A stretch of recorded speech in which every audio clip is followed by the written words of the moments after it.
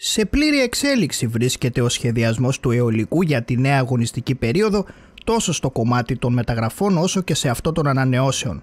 Η ομάδα της Μυτιλίνης έχει ήδη ανακοινώσει τις πρώτες δύο μεταγραφές της με την απόκτηση τερματοφύλακα και επιθετικού. Για τον Άσο επιλέχθηκε ο Κύπριος Ραφαήλ Πιτάτζης, ο οποίος επιστρέφει στους Κιανόλευκους μετά από μία σεζόν στη χώρα του, όπου αγωνίστηκε για λογαριασμό της Αγίας Νάπας, παίζοντας στη β' κατηγορία του Παγκύπριου πρωταθλήματος. Ενώ πάντα στην Κύπρο έχει παίξει ακόμη σε Αχυρών Αλλιοπετρίου και Ένωση Νέων Παραλιμνίου.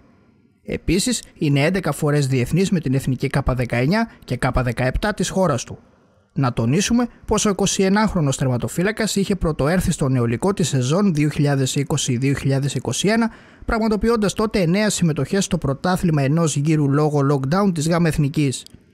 Πλέον ο Πιτάτζης επιστρέφει στην ομάδα της Μυτιλίνης ώστε με τις ικανότητές του να θωρακίσει τα γκολπό του συλλόγου στο επερχόμενο πρωτάθλημα της ΓΑΜ Εθνικής.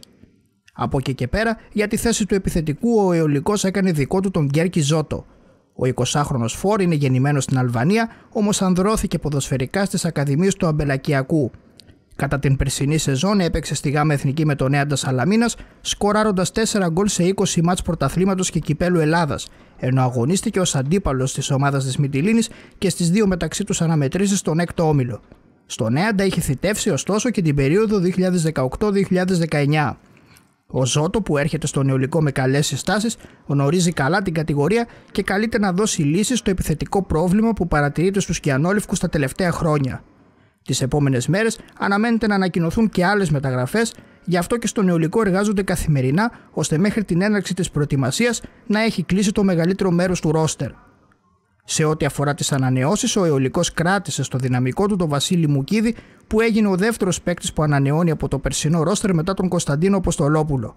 Ο 29χρονο μέσος αποκτήθηκε τον περασμένο Γενάρη από την ομάδα της Μιτιλίνη και αγωνίστηκε σε 9 μάτς γάμα εθνικής με την Κιανόλευκη Φανέλα, καθώς επίσης και σε δύο αγώνες του κυπέλου Εψ Λέσβου. Στο παρελθόν έχει παίξει σε Εθνικό, Ασπρόπυργο, Άγιο Ιερόθεο, Ηρόδοτο, Διαγόρα Ρόδου, Αστέρα Βλαχιώτη, Αέκαρα Ισκάκη, Αιγυνιακό, Παναχαϊκή, Φωστήρα, Αέρ Μιονίδας, Στρασίβουλο και Νέα Ιωνία. Η παραμονή του Μουκίδη στο νεολικό γεμίζει με ικανοποίηση τον προπονητή Θοδωρή Γιακάλη, ο οποίος υπολογίζει αρκετά στις ικανότητες και την εμπειρία του 29χρονου μέσου. Εξελίξεις όμως σημειώνονται και στο κομμάτι των αποχωρήσεων. Μετά από 7 σεζόν στο νεολικό, ο Κώστας Κρητικό αποτελεί παρελθόν από τους Κιανόλευκους. Ο έμπειρος αμυντικός που ενίοτε αγωνιζόταν και ως μέσος, φόρεσε το περιβραχιόνιο του αρχηγού για αρκετά χρόνια, μετρώντας περισσότερες από 125 συμμετοχές με τη φανέλα του Ιωλικού, η διοίκηση του οποίου τον ευχαρίστησε για όσα πρόσφερε στην ομάδα όλα αυτά τα χρόνια που ανήκε στο δυναμικό του συλλόγου.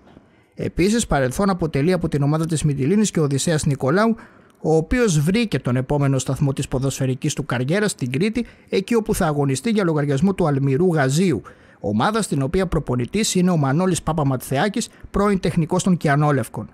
Ο έμπειρος μεσοαμυντικός, παρότι είχε πρόταση ανανέωσης από τον Νεολικό, εν τέλει επέλεξε να πάει στην Κρήτη και στην ομάδα του Παπαματθεάκη, που παρεπιπτόντως ήταν εκείνος που τον είχε φέρει στο Νεολικό το προηγούμενο καλοκαίρι.